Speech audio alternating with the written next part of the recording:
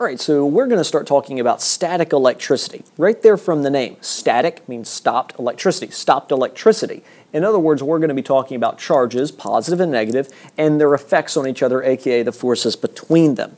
Now, to get to that idea, I need to remind you of an atom. So here's an example of a bunch of Bohr models of an atom. This is more the modern view, right, with the different orbitals. But Bohr models, all we have to deal with is energy levels, and it's a good approximation for what we're dealing with. Now, all charge comes from an atom. Electrons are negatively charged, and protons are positively charged. They're in the nucleus. The neutrons there, they don't matter matter in terms of this unit. They'll matter when we get to nuclear. Now, the unit of charge is the coulomb, right? The coulomb. Um, so you'll hear I have negative 0.75 coulombs as a measurement of charge, how much uh, negative charge you have built up. In other words, you've got a bunch of extra electrons around. The elementary charge is the, if you will, common denominator of all the charges. Uh, it's the charge of an electron or a proton, and you can't actually have anything that isn't in terms of electrons and protons. In other words, 3.5 coulombs, let's say, has to be have a common denominator of 1.6 times 10 to the negative 19th. And whenever you divide that by, you know, 3.5 by 1.6 times 10 to the negative 19th, you pretty much have to come out with a whole number. In other words, uh, this is the charge of an electron and a proton. Now, the electron would be the negative out in front, but this is the charge of an electron and proton. They have to have the same charge for the atom to balance out, right? If this is the charge of an electron and proton, and all charge comes from electrons and protons, then everything has to come down to whole number electrons or whole number protons. You don't have half a proton thrown in there. So that's the elementary charge. Two ways you'll see charge being told to you is in terms of the elementary charge, especially if you're dealing with small numbers. You'll see something like 19e for or 19 times the elementary charge. Or you might see with especially with larger ones uh, in terms of coulombs, like you know what we said earlier, 0.75 coulombs, uh, capital C there. Um, and there are a lot, obviously, negative times 10 to the negative 19th, there are a lot of electrons or protons that have to make it up. I should also point out, while electrons technically can go free, um, and, and moving electrons is what we call electricity, protons don't actually flow free. Uh, we'll talk about the idea of flowing protons whenever we get into uh, our circuits idea there and historical implications with that. Um, but protons don't actually uh, flow free flow free. What's really occurring is something, uh, an atom would lose an electron, making that atom a positive ion, and so we're dealing with those ions there. Another three terms that you are actually should be pretty familiar with, conductors, insulators, and semiconductors. Conductors are elements, uh, generally transition metals, so in between uh, let's see, column 3 and column 12, and not even all of those. Um, they are elements, conductors, that easily give up, and because they can give them up, they can also take on electrons. Uh, so, in other words, there's enough electrons on the innermost, uh, uh innermost energy levels that it will shield the valence electrons out there. In other words, keep the force from the nucleus from really reaching them, okay, letting the electrons get away easily. Insulators, on the other hand, especially a good example of this would be all your nonmetals, um, are really good about holding on to their electrons. They don't let them go. They keep them really close. Uh, their valence electrons, they still have a good attraction on. Them. Semiconductors, by themselves, without doing anything to them, actually act like insulators. But the trick with semiconductors is, if you put it in the right conditions, you can make it act more like a conductor. Uh, one of the really useful things with that is if you apply an electric field to it of a certain strength, all of a sudden at certain strengths depending upon the semiconductor they will start they will stop acting like an insulator and holding on to their electrons really well. They'll let their electrons start to go free more like a conductor and so you could use it in a wire. That's actually what all of modern electronics is based off of these semiconductors. Whether it's a computer a calculator a smartphone anything like that is based upon the semiconductor now, Coulomb's law is where we're going to be spending most of our time in this unit here. Coulomb's law states the force between two charges is directly proportional to their charges. In other words, Q times Q, Q1 times Q is proportional, it's in the numerator to the force, and the force between two charges, so my force, is inversely proportional to the distance r here, distance squared between them. All right, so r squared, uh, how far between them. So as your distance goes up, force goes down eh, by a idea of squared, right? So you go a little bit, not much happens. You go a little bit further, and all of a sudden you start having an exponential effect on it. Um, and the two charges multiplied together, that's directly proportional to the force, nothing squared. K here is a constant. It's called Coulomb's constant, 9.0 times 10 to the ninth uh, Newton meters squared per coulomb. Uh, sometimes you'll see that broken down into the, uh, into the permittivity of free space. We'll talk about that in class. Um, but that's just a constant that you substitute into this equation. This equation is what gives you force. By the way, this equation can also be used, you know, you use this to get a force. You can take that if after you calculate a force and you can do lots of fun things with it. You know, if I have two protons, right, um, and there's a force between them because of that, I can then take that force and I can add it to other forces, right? Using uh, addition of vectors through forces. I could use that force like we're going to like we're going to in a problem coming up as the centripetal force, allowing an electron to go around a proton even though that's a overly simplistic understanding of the way the atom works. Um, but anyway, I can use those forces for lots of things. Uh, your electric force, or really I should say the electromagnetism force, it's one of the four fundamental forces. Electromagnetism, gravity, strong nuclear force, weak nuclear force. Um, and, and, it's interesting enough, uh, the, electro, uh, the electromagnetic force actually tends to move. It's kind of weird to talk about how fast a force moves. It moves at the speed of light, meaning that if, uh, if something's a really far distance away, it takes a little bit of time for the force to actually act on it. Gravity, now we're not sure fully about gravity. We think it moves faster than the speed of light. Hopefully more to come on that in a few more years of physics.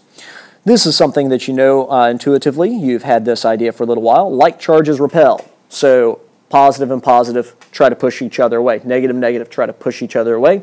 And something you found out in maybe a few of your relationships that you've had so far, opposites attract, right? So positive and negative, the forces are pulling inwards towards each other. Um, now, here's an idea of where charges live that some people find a little peculiar. Charge actually likes to live on the outside of whatever object it's on. So here I have an object with a bunch of positive charges inside of it, just right here like this. And uh, they're swimming around, but think about the forces acting on them, right? Opposites repel. So, uh, or excuse me, like charges repel, meaning all these positives are going to want to run away from each other. So they're going to split up. They're going to move out to the surface, trying to get as far away from each other as possible. Now, people have an initial reaction that they would kind of distribute themselves in the center of the sphere or in the center of whatever object they might, they might uh, be existing upon. But if you think about, let's take this charge right here. Whenever he's over here on the surface, these guys are the ones that are closest to him. Remember, distance is according, the force is according to the distance squared. So the further away you get, the less the force gets according to an idea of squared, exponential. So distance is going to matter more than charge. So he's only having to deal with these two guys mostly. These other ones are really far away.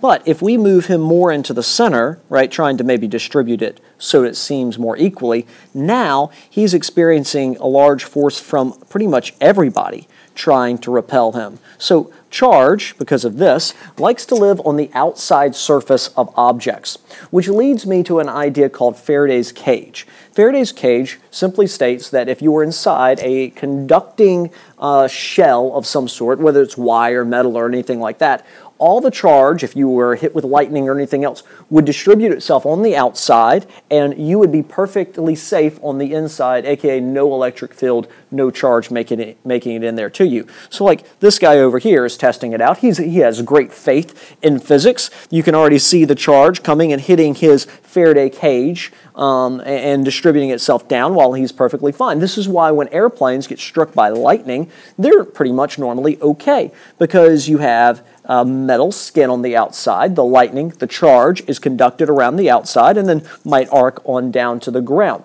This is why in a lightning storm, you're told to go get in your car. The odds of your car getting hit by lightning are actually pretty slim, but even if that did occur, that's okay because the charge would live on the outside of your car, would flow around the outside, and then down into the ground. All right, so how do you get something charged? If you remember chemistry correctly, atoms like to live initially in a ground state, right, in, in a neutral state, if you will. Um, but if you also some, remember some chemistry, they form ions through chemical bonds to try to get the, get themselves to where they have eight valence electrons or a full outer shell. Sometimes it's it's other things, but normally eight valence electrons with a Bohr model. So that's going to be a chemical idea. Uh, batteries would be a great example of that. Another example of how you could charge something is by friction, actually rubbing electrons off of you onto something else or off of something else onto you. Think of taking uh, socks in the wintertime and having them on your feet and scooting across the floor, building up a static charge to go shock your unsuspecting brother or sister. One way that tends to confuse people is called induction. Now, induction basically means you charge something by bringing another charged object close to it. So here's two examples of that. I have two metal spheres, A and B, and I bring a negatively charged object near them. Now, opposites, uh, opposites attract, uh, and like signs repel, right? So if I bring something negative, all of the electrons that are free to move about, if, if this is a conductor, two conducting spheres, are going to try to run off of sphere A and into sphere B, leaving sphere A more positively charged. Then, if I separate the spheres over here, that leaves a lot of positives on A and more electrons now on B. And so now I have two oppositely charged, opposite, oppositely charged spheres positive and negative. That's charging by induction. Another one, if you're just dealing with one single sphere, I've got a neutral sphere. That means I have the same number of positive and negative charges inside of it. Here I'm going to bring another negatively charged rod. By the way, this could be done with uh, positively charged objects. It doesn't matter. Because I bring a negatively charged rod in, all of the electrons will try that are available to move, if this is a conductor, right, will try to move to the opposite side of this sphere or whatever object. Then if I ground it, aka I, I, take a wire, I connect it to it and connect it to the ground, um, that, gives the, that gives a place for the electrons to escape, to be able to run even further away, right? So they run even further away down into the ground. When they do that, now this is left, left with a net positive. So whenever you take away the uh, negatively charged rod, I have a positively charged uh, sphere left over. All right, I'm going to work a couple of quick problems for you. A word of warning in this unit, you're going to start seeing some small distances possibly here, especially as we deal with atoms. Atoms lots of time are talked about in distances called angstroms, uh, A with a little circle above it, if you will. Uh, angstroms is, uh, means times 10 to the negative 10th meters. You'll also hear picometers talked about, times 10 to the negative 12th, micrometers times 10 to the negative 6th, nanometers times 10 to the negative 9th. So don't be freaked out by any of those things. You see a unit you're not sure of, please open up your AP packet to actually see what that prefix on the meter, or something meters, means there. Now, I have here a Bohr model of a hydrogen atom, one proton, one electron, and the average radius that an electron, uh, electron uh, probability-wise will be uh, from the proton, so this distance right here is somewhere around 0.529 angstroms. And I want to know how much force is uh, existing between these two, because the proton's trying to pull the electron down, the electron be trying to pull the proton up. So what's the force between them? Well, we use Coulomb's law. The electric force is K Q1, Q1, Q2 over R squared. And now I know K, Q1, Q2 over R squared. I just need to substitute in the numbers. All right, so I have K, 9.0 times 10 to the ninth, uh, and then my two charges, right? The charge of a proton and charge of electron is the elementary charge. Now notice, I did leave my electron charge to be positive. Whenever you're dealing with electric force here, do the absolute value of the charges, aka make them all positive no matter what. And then you'll come out with a positive force, and you assign its direction manually there. In other words, if you know they're supposed to be attracting, then you assign whether, depending upon that direction, whichever it is, positive or negative. That will matter more whenever we start getting into 2D uh, problems here. All right, so uh, just know that you're going to assign the direction manually. Distance squared, notice uh, the parentheses around that to make sure my calculator takes care of it for me. And whenever I substitute that into my calculator, I come out with 8.23 times 10 to the negative 8th newtons there. Um, we will assume that the elementary charge, 1.60 times 10 to the negative 19th, is exact. Um, now, go ahead and get used to using the EE button on your calculator or the times 10 to button on your calculator because you're going to have a lot of exponents, a lot of scientific notation that you're going to need to put in in this unit and pretty much going forward in physics. Some really big numbers, some really small numbers. Uh, the elementary charge is going to give me the charge of the protons and electrons. Sometimes these charges will be in just normal coulombs, so you won't have to transition from a, a, a proton electron charge, elementary charge, to uh, the number of coulombs. If this was in a hydrogen atom, if this was, let's say, a helium atom, and I had two protons here, then I would need a 2 over here in front of this. Two protons, one electron, force between my two protons and one electron if I was dealing with the nucleus uh, to a electron. All right, while most uh, problems that you're going to deal with are going to be basic uh, problems like this, kind of plug chuggies for this first lesson, I do want to go ahead and solve another good uh, physics problem for you uh, using this idea. An electron in a Bohr model orbits around the nucleus of an atom in a pretty much circular path in the old Bohr model there, which means that this is centripetal motion. And the centripetal force, what's pulling this electron in, is provided by the electrical force, aka the attraction between the proton and the neutron there. So I can substitute my force in to centripetal force and solve for the velocity that this electron must be moving at. Now, the mass of an electron is a well-known entity. Uh, you just look it up in the book. It's 9.11 times 10 to the negative 31st kilograms. So after I work the algebra, I come out with the velocity of this electron. If it were going in a nice orbital motion, which we know it's not, it's, it's more of a probability thing, uh, to say the least, with electrons the Bohr model does not hold. Uh, but if we assumed that, we'd come out with the electrons moving somewhere around 2 million meters per second, quite fast. If I were to get that in terms of speed of light, divide by 3 times 10 to the 8, 3.0 times 10 to the 8, that's about 0.7, uh, 0.7 c, or 0.7 times the speed of light, which is actually one of the reasons why the Bohr model breaks down. Uh, we're going to learn in electricity and magnetism that when charges move, like an electron, it actually gives off electromagnetic energy. It actually gives off energy, meaning that if it's releasing energy, uh, the orbit of the electron would decay all the way down into the nucleus. Um, so uh, there has to be something else, aka the strong, or excuse me, the weak nuclear force to keep the electron there. Um, the mass here of the electron might have thrown a few of you off. Uh, that's just a number you look up. The reason we're using the mass here in the centripetal force problem is, remember, mass and centripetal force is whatever is doing the orbiting. And it's the electron that's doing the orbiting around the proton. So that's why that goes in for the mass.